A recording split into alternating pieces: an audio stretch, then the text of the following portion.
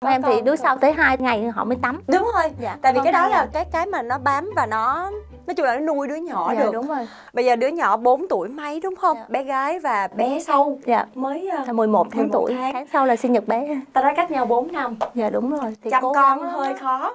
Vậy thì có bí quyết gì chăm con không? Chồng em có biết biết gì? Chẳng có biết biết gì hết Rồi chị ơi, mời ông bố kiểu Mỹ vô em chỉ có biết quyết là cho con bú thôi. Em chỉ muốn nuôi con hoàn toàn bằng sữa mẹ em không có muốn là dùng sữa bên ngoài Vậy là tổng cái thời gian mà nuôi con bằng sữa mẹ là bao bao nhiêu lâu? nếu mà đứa này được em muốn hơn một tuổi mà tại vì bên này khuyến cáo là một tuổi là nên cho bé uống sữa tươi ở ngoài á. dạ. Mà em đang cố gắng để tập bé bú bình lại. Bé từ lúc mà bé về Việt Nam bé mới về Việt Nam qua bé là quên cái bú bình đi. Bé rồi bú mẹ thôi. Thực ra thì ở bên Việt Nam á thì là chiều hướng là cho con ờ, sữa mẹ. dạ. Nhưng ở bên đây á thì ngược lại là uống sữa ngoài. Dạ. Mà sữa ngoài nhưng mà không phải là sữa bột luôn nha. Sữa bò, sữa, Sữa- bò, sữa sữa tươi. Sữa tươi luôn. Hoàn toàn luôn bắt buộc Dạ, là đúng như rồi, bên vậy. này bắt Chứ không là phải sữa bột mà mình Dạ, khuấy đúng khuấy rồi. mình pha vô cái bình. Dạ, đúng mà rồi. bắt buộc là phải uống bằng cái cái cốc. Chứ không được rồi. uống bằng cái Bằng cái cái cái nipple đúng rồi vậy nó bị hô á, bị hư cái răng á. Dạ, nó bị hư răng Cho thì nên là cũng hơi khác ha. dạ, hai hơi khác hai khác. hai đứa khác một đứa thì là bú mẹ hoàn toàn một đứa thì không thèm bú mẹ chỉ muốn bú bình bằng sữa mẹ thôi mà đứa đầu tiên là chị đổi sữa nó cũng không biết luôn nó dễ lắm Siêu á. dễ. Dạ em về Việt Nam mà em không có mang sữa bị về hết nhiều á thì chuyển qua cái gói sữa Việt Nam mình thì không có sữa tươi thì em mua cái sữa tươi đóng gói á bé cũng uống cái gì nó cũng uống hết á Có khi nào mà cái cái dòng sữa nó bị tắc không? có chị có thời gian đầu tại vì con lúc mà đẻ ra nó không có bú mình á thì lúc đó sữa mình cũng chưa về. Mà em cứ bơm á. Thường người ta nói bơm khuyến cáo bơm chừng khoảng 15 phút thôi mà em bơm khi nửa tiếng không ra giọt nào luôn. Rồi nó cái nỗi mà em phải bị sốt á về nhà bị hành sốt mà chồng em phải đọc trên mạng chồng em thì đọc hết. Em chỉ có việc là sinh con và cho con bú thôi còn mọi thứ chồng lo.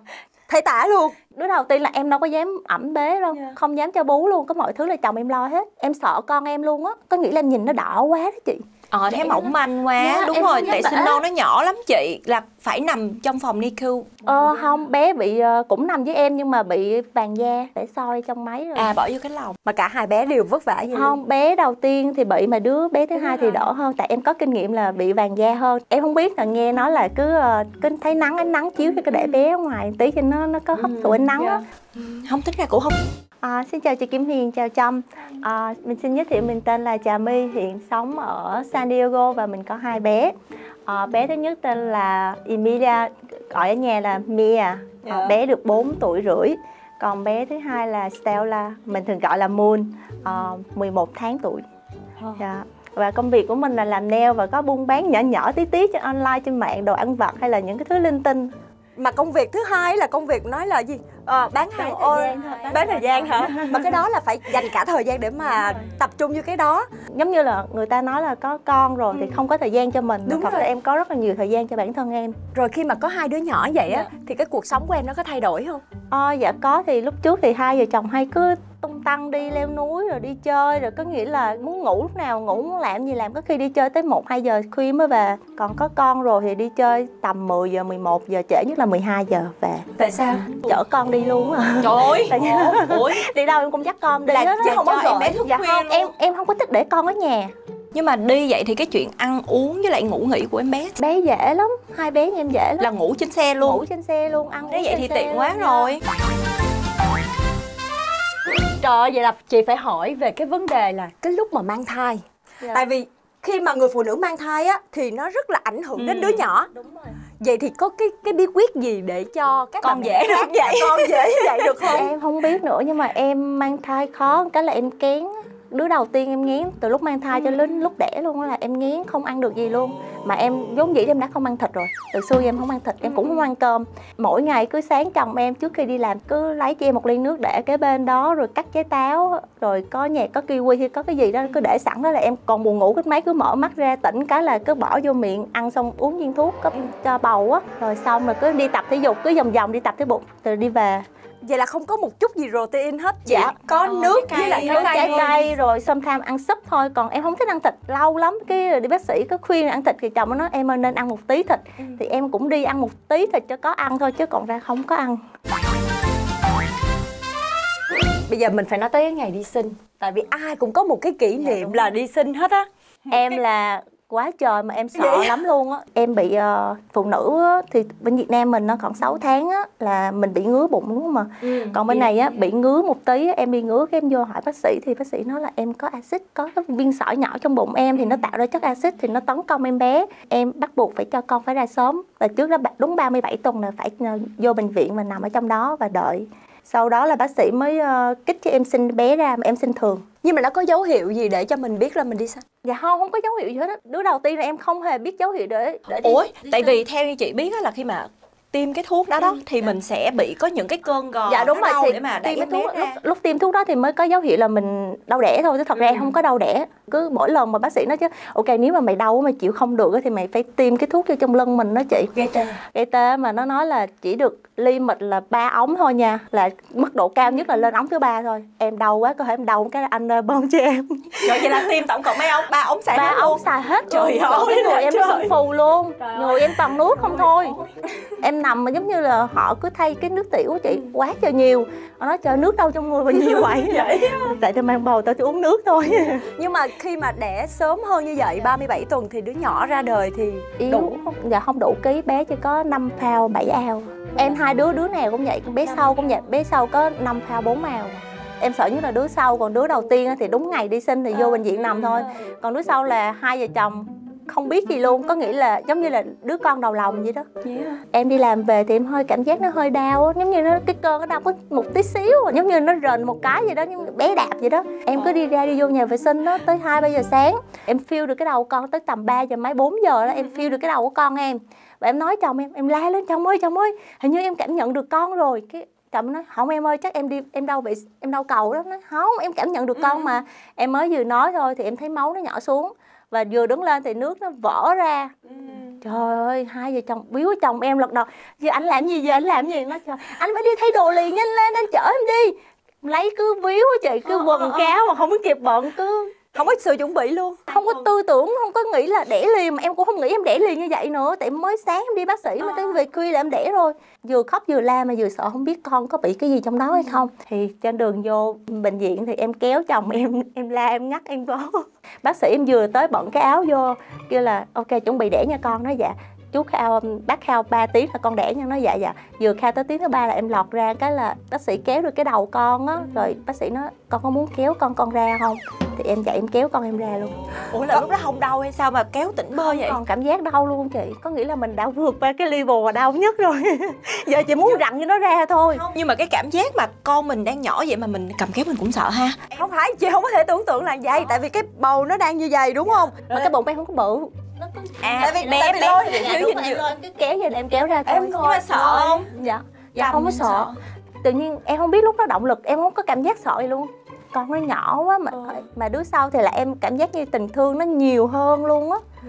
có nghĩa là tại vì em trực tiếp nắm con ra rồi dạ con. rồi bú con nó bú em trực dạ. tiếp á em cảm giác là em cưng nó hơn một tí thôi chứ. À, em kéo bé ra rồi mọi sự là chồng em tới cắt dây rốn là xong rồi lúc đó chồng em đứng gọi điện thoại FaceTime bên Việt Nam rồi em cũng nói chuyện với mẹ em rồi mẹ cũng nhìn thấy. Trời ơi ảnh cũng bình tĩnh vậy luôn. Dạ chồng rất là bình tĩnh luôn.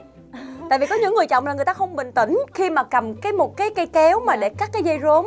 Biết là cái dây đó sẽ bỏ. Hả? Sợ con đau sợ con vẫn sợ con đau chồng em cắt hết. Ở bên đây á tại sao cái lý do mà vừa mới sanh em bé xong yeah. Thì nó sẽ không tắm em bé luôn đúng yeah. Dạ. rồi nó không tắm vẫn còn những cái cái vôi ở trên người yeah. cho giữ hết cả một ngày luôn ừ. chăm thì như thế nào em hả lúc đó em em em không biết nữa chị ơi em nửa mê nửa tỉnh mà con em là vừa sinh sau một cái là đẩy gấp qua bên NICU liền tại vì con em không thở được ừ. ừ con chị là sinh ở tuần thứ 35 em mà là à, hai hai bé sinh đôi cho bé sinh đôi ừ, cho nên là nhỏ lắm một bé có một ký chín với lại bé hai ký ba wow. nhỏ lắm dạ, cái đứa ký chín là đáng lẽ là chết đó chị wow. đó nó bị truyền máu song thai Ừ, nên là đẩy đi liền thì em cũng không biết như thế nào nữa. Con em thì đứa sau tới hai ngày họ mới tắm. Đúng rồi dạ. tại vì cái đó là cái cái mà nó bám và nó nói chung là nó nuôi đứa nhỏ dạ, được. đúng rồi. Bây giờ đứa nhỏ 4 tuổi mấy đúng không? Dạ. bé gái và bé sau dạ. Mới uh, 11 tháng 11 tuổi. tháng. tháng sau là sinh nhật bé. Ta đã cách nhau 4 năm. Dạ đúng rồi. Thì chăm con hơi khó Vậy thì có bí quyết gì chăm con không? Chồng em có bí quyết gì, chẳng có bí quyết gì hết. Rồi chị ơi, mời ông bố hiệp sĩ chú Mỹ Em chỉ có bí quyết là cho con bú thôi. Em chỉ muốn nuôi con hoàn toàn bằng sữa mẹ. Em không có muốn là dùng sữa bên ngoài. Vậy là tổng cái thời gian mà nuôi con bằng sữa mẹ là bao bao nhiêu lâu? nếu mà đứa này được em muốn hơn một tuổi mà tại vì bên này khuyến cáo là một tuổi là nên cho bé uống sữa tươi ở ngoài á dạ. Mà em đang cố gắng để tập bé bú bình lại bé từ lúc mà bé về Việt Nam bé mới về Việt Nam qua bé là quên cái bú bình đi. Yeah.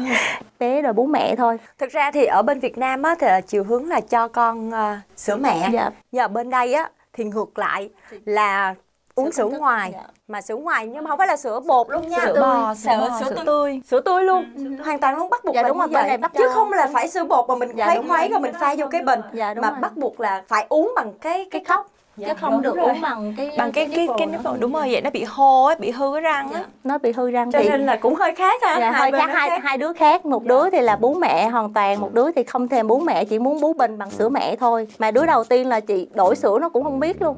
Nó dễ lắm siêu dễ. Dạ em về Việt Nam mà em không có mang sữa bị về hết nhiều á thì chuyển qua cái gói sữa Việt Nam mình thì không có sữa tươi thì em mua cái sữa tươi đóng gói á. Bé cũng uống cái gì nó cũng uống hết á. Có khi nào mà cái cái dòng sữa nó bị tắc không? Có chị có thời gian đầu tại vì con lúc mà đẻ ra nó không có bú mình đó thì lúc đó sữa mình cũng chưa về. Mà em cứ bơm á. Thường người ta nói bơm khuyến cáo bơm chừng khoảng 15 phút thôi mà em bơm khi nửa tiếng không ra giọt nào luôn. Rồi nó cương cái nỗi mà em phải bị sốt á về nhà bị hành sốt mà chồng em phải đọc trên mạng chồng em thì đọc hết. Em chỉ có việc là sinh con và cho con bú thôi còn mọi thứ chồng lo. Thấy tả luôn. Đứa đầu tiên là em đâu có dám ẩm bế đâu Dạ. không dám cho bú luôn có mọi thứ là chồng em lo hết. Em sợ con em luôn á có nghĩ là em nhìn nó đỏ quá đó chị ờ thấy mỏng manh quá. Dạ, đúng rồi tại sinh non nó nhỏ lắm chị. Là phải nằm trong phòng NICU ờ không bé bị ờ, cũng nằm với em nhưng mà bị vàng da để soi trong máy rồi. À bỏ vô cái lòng mà cả hai bé đều vất vả như không bé đầu tiên thì bị mà đứa bé thứ hai thì đỡ hơn tại em có kinh nghiệm là bị vàng da hơn. Em không biết là nghe nói là cứ ờ, cứ thấy nắng ánh nắng chiếu thì cứ để bé ở ngoài tí cho nó nó có hấp thụ ánh nắng á. Không tính ra cũng không vất vả lắm chị. Không- không vất vả. chồng với mẹ chồng hết trơn nên mà em mỗi lần mà chồng mà ngay tới thời điểm này mỗi lần một nửa đêm chồng đang ngủ cái anh ơi thầy tả con. Cái anh dạy cái bữa sau chồng nói chứ ủa em sao em thầy tả con em cứ chấm như nó gì có. Bây giờ anh cứ nói anh nhớ anh nói gì với em không? Vậy lợi thế trong dông Là bão ok. chết đi luôn. chơi cũng vậy nữa đang chơi thi đang chơi thì uống đang nói chuyện bạn Ờ. bè với anh ơi thầy tả cho con nha con uyển nha. Ok đi vô làm xong thay xong đưa lại cho em. Nhưng mà chăm sóc đứa nhỏ nó rất, rất là cực tại Dạ. vì đứa nhỏ hay khóc nửa đêm dạ đúng rồi. Và cái cái độ ngủ với lại cái độ thức Nó nó, bị nó liên tục liên tục Dạ, như đúng rồi. vậy. Nhưng mà ảnh làm hết luôn. Ảnh làm hết. Em chỉ có việc ờ, đứa đầu tiên em cứ việc cứ ba bốn tiếng em dậy em bơm sữa em bơm xong để đó. Tới lúc mà con mà thức dậy á, thì ảnh nó dậy cho con bú. Nhưng mà hai người cùng chăm con như vậy thì có khi nào mà gây gây nhau không? có đứa đầu em gây nhiều lắm chị. Có nhiều hầu như là gây nhau về cái vụ mà cho con uống thuốc á là bất đồng quan điểm hả? Hay dạ. là- giống như là bé lúc mà em nhớ ờ, Mia bị một lần là bị sốt rồi do nó mọc răng với lại lúc đó em lì lắm mới có hai tháng em cho con đi bấm lỗ tai vừa chích cái mũi cua mũi ờ, hai tháng á em cho bé đi chích lỗ tai liền thì bé hơi bị sốt. Giống như bác sĩ nó tới nhiệt độ đó mới được cho uống thuốc. Chồng em thì sợ cho uống trước. Nhiều lúc hết rồi cũng cho uống nữa. Em nói anh ơi không có được cho con uống vậy. Giống như uống thuốc vậy không có tốt cho con. Thì chồng nói thôi ờ, con còn sốt phải cho con uống. Em nói không được. Cãi nhau vấn đề đó. Rồi thâm tham thì em ngược lại. Con mới vừa sốt hơi sốt sốt. Em nói anh ơi cho con uống thuốc đi. Trời chồng em là lại không- ngược lại. không bình ổn rồi. Không bình ổn. Có nghĩa là em làm theo cảm hứng của em. Em thấy ok được là em cho uống. Không thực ờ, ra cái này thuốc bỏ vô người là quan trọng lắm. Mình phải có một cái nhiệt độ. Cái này là kinh nghiệm của chị luôn là bác sĩ bác sĩ của mấy đứa nhỏ.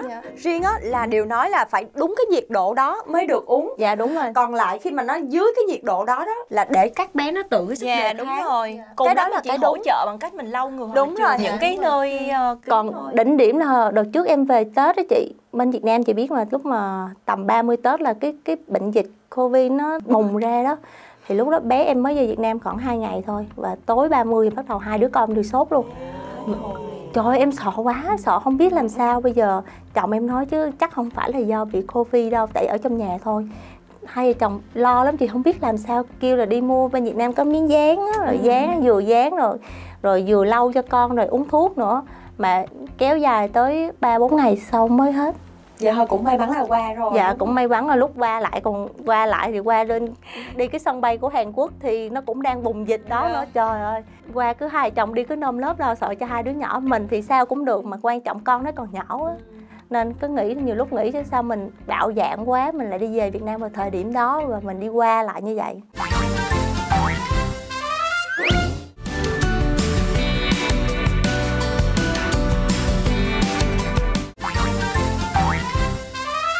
là sức khỏe bây giờ của em em có thấy khác cái lúc mà em chưa có sanh hai đứa nhỏ khác đứa đầu tiên đã thấy khác rồi. Là em cảm giác em yếu hơn cái răng em nó không có được cứng giống như không được chắc vậy đó. Ờ vậy đó. 5 giờ chiều 6 giờ chiều cơn gió thổi qua là ê hết người. em bị ê răng rồi ăn lúc trước em còn ăn những cái đồ cứng được bây giờ em ăn không được. Nó cảm giác đau lắm rồi em bị đau lưng. là do cái mũi tim. Vậy là chị với em phải đi tìm phải đi tìm những cái bà mẹ khác để mình mình tìm hiểu là tại sao mà bị như vậy. Ừ. bé đầu á em bị tự kỷ á bị stress á. Trầm cảm hay tự kỷ? tự giống như tự kỷ thì đó là em không muốn ai đụng con mình hết á. Em tự thắt khe hết chỉ có. Vậy là trầm cảm. trầm cảm. ôi trầm cảm mà ôi không có thể là giống như trầm cảm mà từ cái trầm cảm mà giống như mình chỉ muốn cô mình dạ, lại đúng rồi, trong cô cái nhiều loại trầm cảm lắm chị. Đúng rồi chỉ có muốn giữ con mình thôi không muốn cho đụng ngay cả bà bà nội luôn em không có cho đụng tới luôn. Mà sao em biết là mình mình đang bị biểu hiện đó? Tại vì bình thường em là người rất là năng động giống như em thích giao lưu nói chuyện vậy đó mà em từ lúc có bầu á có bầu cũng vậy em không nói chuyện tiếp xúc với ai chỉ ngoài chồng em ra thôi.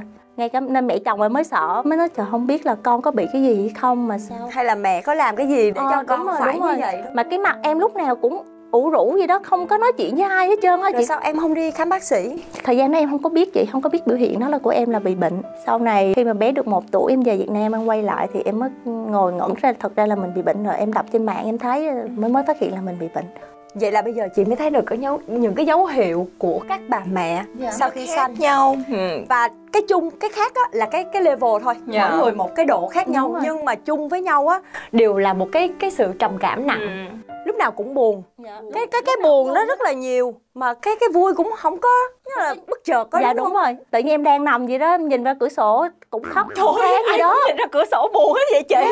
Không tại vì ở đây nhiều cửa sổ lắm em.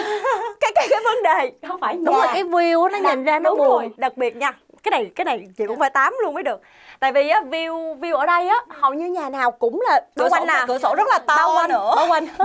Cho cửa sổ nên ở Việt Nam thì mọi người cũng thấy rồi. Nhà người nào cũng khích khích vậy nè nó khích khích thì lại bên này buổi được. tối nó im lặng á. Nhìn ra trời ơi, tự nhiên cái cần Nhất là mùa gió- đông đúng hả? rồi chỉ cần gió đung đưa một cái thôi là em khóc. Mà em đang khóc nha đang bực mình đang khóc nhìn qua chồng đang gáy khò cò. Dỗ chồng vậy tức tức mình khóc hơn đó chị? Mà lúc đó là nhiều lúc mình nghĩ thôi tức vậy để chồng ngủ đi mai còn có sức đi làm mà nhiều lúc em kìm lại chắc em nghĩ cho cái kỳ mà mình tức mình giận mình không nói ra mình kìm lên rút làm cho mình có áp lực nặng nhưng mà sau sau đó em có phải có cái phương ờ cái cách cái nào mà mình pháp thoát nào ra cái điều đó? ra được chắc em đi làm em dâu của em qua chơi nó mới nói thôi chị ơi chị đi làm đi ở nhà chị buồn lắm. Thế đó em đi làm thì lúc đó em tiếp xúc và em nói chuyện đó thì lúc đó em em đỡ hơn. Là hết thời gian để buồn á. Dạ đúng rồi hết thời gian nhưng mà để bao buồn. lâu bao lâu thì mình ngắt đi cái sự trầm cảm đó? Ờ, cũng gần một năm á. Tại vì bé một tuổi ờ, lúc bé em về Việt Nam là tầm bé lúc 11 tháng tuổi á. nhưng mà nó sẽ ảnh hưởng đến đứa nhỏ. Tại vì khi mà em trầm cảm như vậy á thì em, mang cái nỗi buồn em giữ nó một mình nó thôi. Mình truyền cái nguồn năng lượng xấu đến con mình á. Vì khi mà em nói là em cho con uống bằng sữa nguồn sữa mẹ đúng không? Thì cái tâm lý của mình như thế nào á thì nó nó qua cái cái nguồn sữa mẹ đó. Dạ. thì nó sẽ ảnh hưởng đến đứa nhỏ. Đứa nhỏ nó sẽ không còn vui nữa. Nhưng mà em đã vượt qua được cái đó thì chị mừng. Dạ. Nhưng mà cái đứa thứ hai đứa thứ em hai có bị trầm cảm lại không? Đứa thứ hai em không có thời gian để trầm cảm luôn. Mình lo lú hai đứa. Dạ lúc đó em đi làm, làm xong nữa. rồi đi làm mà mấy ba tháng đầu em bị nghén ói ra tới máu luôn á. Ừ. sợ quá khóc. Anh ơi em ói ra máu kêu chồng đang đi làm. Anh ơi chở em về liền em không muốn ở đây em em phải đi bác sĩ. Thì chồng nói là gọi điện cho bác sĩ nói là tại do em ói nhiều Chai quá. cổ. dạ bị Ờ, chai chị cổ chắc. bị ó như vậy trước đó là tụi em cố gắng để có bầu đứa thứ hai em khó có con. Em, em không có kiên cử gì luôn á. Từ lúc mà sinh bé đầu là tới lúc bé thứ hai là em không kiên cử mà đi bác sĩ rồi cũng không có được. Em không hiểu lý do tại sao do cơ thể của mình. Em đi check up rồi đi bác sĩ đông y tây y đi hết luôn. Có thời gian nản quá nó không biết sao giờ không có thì thôi. Có một cô khách hàng của em á cô nói là mày cứ thử dùng ờ, cái ờ, thuốc uống này đi rồi tao có dùng qua tao cũng giống như mày vậy đó tao cũng trai có con mà hai hơn hai năm tao không có thì si uống si có. Thì em nói ok đi em thử. Thì em uống được ờ, gần hai hai hộp á thì em có. Tháng thứ sáu em về Việt Nam em qua lại gần 7 tháng thì lúc đó cái bụng em cũng chưa có lớn. Ngay em đi máy bay mà bác mấy cô nhân viên ờ, máy bay không có biết em có bầu luôn.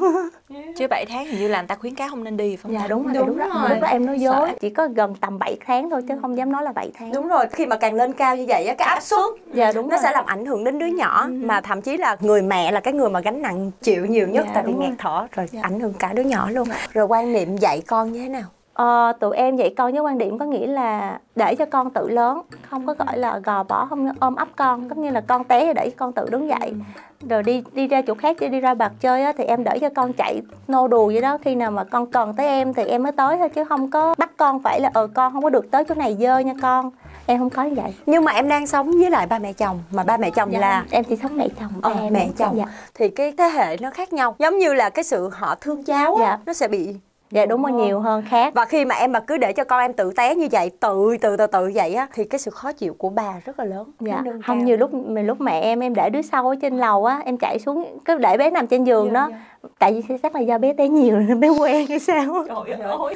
Mà tại sao để cho đứa nhỏ té? Không tại vì nhiều lúc nó ngủ á chị mình em cứ quen cái thấy nó ngủ nó ngủ rồi thì nghĩ là nó sẽ không có té cái lần á nó ngủ thì nó tự nó rớt mình làm mấy cái rào lên không cái được đâu là cái đó là không có được nguy hiểm là em biết nhưng mà nhiều lúc em giống như em thờ á cái mẹ nói thôi con chạy lên với con ra để té tội nghiệp con.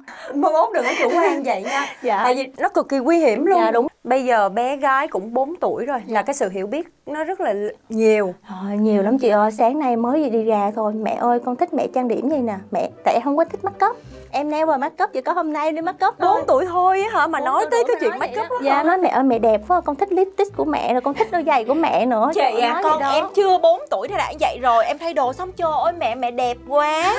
Rồi em cột tóc đó nói mẹ đừng cột tóc mẹ xõa tóc ra đi. Con không thích mẹ cột tóc em không hiểu tại sao bây giờ con nít những cái Dạ, độ nó tuổi nói, tự nó nói nhỏ vậy không ai dạy nó luôn. nhiều luôn con gái nhưng mà như vậy rất là nguy hiểm thì cái quan niệm em với lại chồng em sẽ dạy con như thế nào tại Dạ, vì rồi. mấy bé này bị lớn gọi là lớn trước tuổi em nghĩ là Rất là cái, nguy cái, hiểm. cái độ cảm thụ của nó nhiều thôi và nó nó nhạy cảm nó nhạy cảm nó á nhạy cảm không Không. mình không cần dạy mà nó tự absorb vô nhưng người. mà em con trai vẫn đỡ và bây giờ chị với lại bé cũng có hai đứa con gái đúng không Dạ. mà nói chuyện make up như vậy thì cái sự ảnh hưởng nó rất là lớn tại vì một ngày nào đó tại vì ngày nào đó tự nhiên lén lén make up mẹ make up có chị bé có lấy cái son riêng của bé son dưỡng của bé bé nói này của con nha mẹ không được đụng nghe không?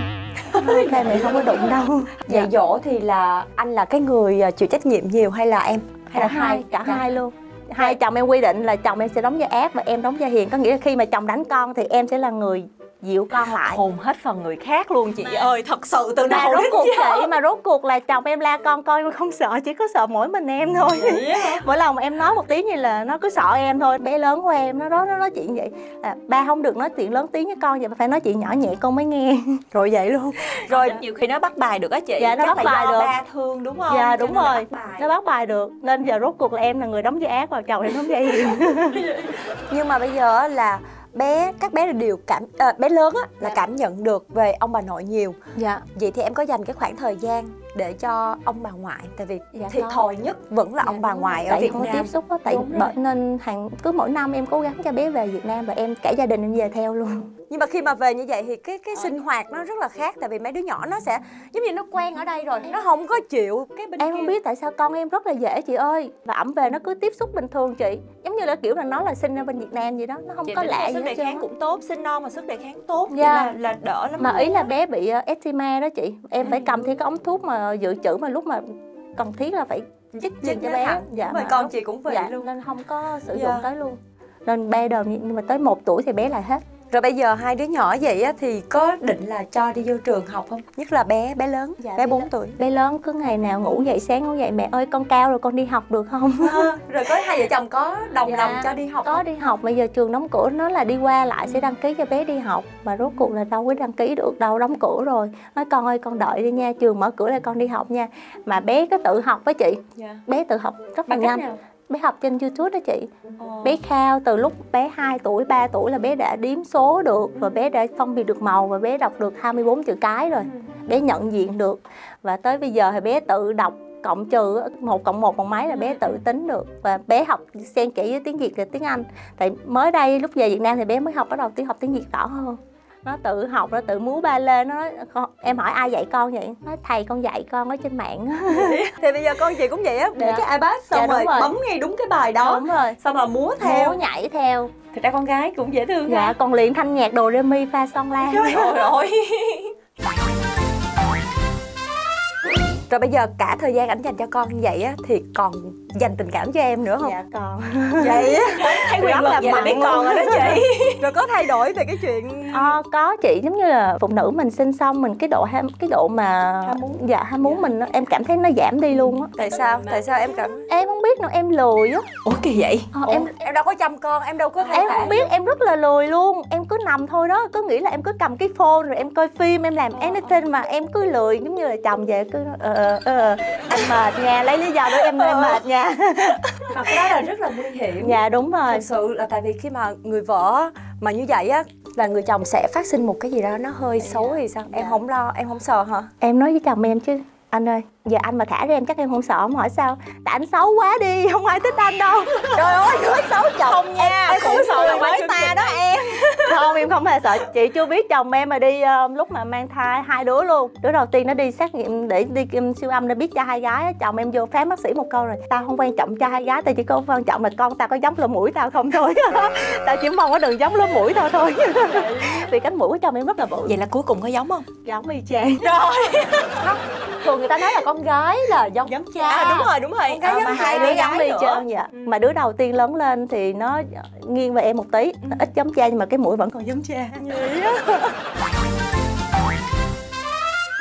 Rồi cảm ơn em, cảm ơn em Dạ. đã chia sẻ với lại chương trình Chat với mẹ bỉm sữa. Thì qua chương trình này em có muốn nhắn gửi gì đến à, thứ nhất chắc là dành cho ba mẹ trước đi. Dạ. Đầu tiên cho ba mẹ. thì hôm nay nhân dịp chương trình thì em muốn nói lời cảm ơn với mẹ chồng em và ba mẹ em đã cũng như là đã bao bọc và che chở cho em trong suốt thời gian mà nuôi em rồi tới lớn khi em có gia đình vẫn còn bao bọc em và cảm ơn mẹ đã ờ, dành hết thời gian để chăm cháu và giúp đỡ em trong việc nhà còn riêng chồng em thì em không biết nói gì hết tại vì chồng em là quá quá tốt với em rồi chỉ có một cái là chồng ơi chồng bớt nóng tính lại thôi tại vì nhiều lúc chồng nóng tính cái em mới nói anh ơi anh nóng tính như là gia đình mất hạnh phúc nha Vậy là chị hy vọng là qua chương trình này anh Dạ. xem và cũng như là ba mẹ em xem thì Dạ. sẽ thương em nhiều hơn, Dạ. nhiều hơn nữa. dạ em cảm ơn Chương trình cũng xin cảm ơn và tặng cho em món quà đó là gừng đen đến từ Nhật Bản. Nó sẽ giúp cho em là, thứ nhất là chống được trong cái mùa flu của mình. Dạ. Rồi cái thứ hai á là sẽ tái tạo được cái làn da của mình nhất là phụ nữ sau khi sanh á thì em cảm ơn chị Kim Hiền cảm ơn Trâm đã lắng nghe câu chuyện của em nó nó lung tung như vậy không không có lung tung đâu tại vì nhờ em mà chị cũng học hỏi được nhiều điều đúng không Trâm? dạ với lại thấy được là nhiều giống như thấy được bản thân mình trong đó nữa Đúng rồi. dạ. à, cảm ơn chương trình đã tạo cơ hội cho em đến chương trình ngày hôm nay để giao lưu và nói chuyện với ờ, các bà mẹ bỉm sữa và cũng học hỏi một phần ờ, kinh nghiệm để bù đắp vào những cái gì thiếu sót của mình Cảm ơn quý vị đã dành thời gian theo dõi chương trình Chat với mẹ bỉm sữa.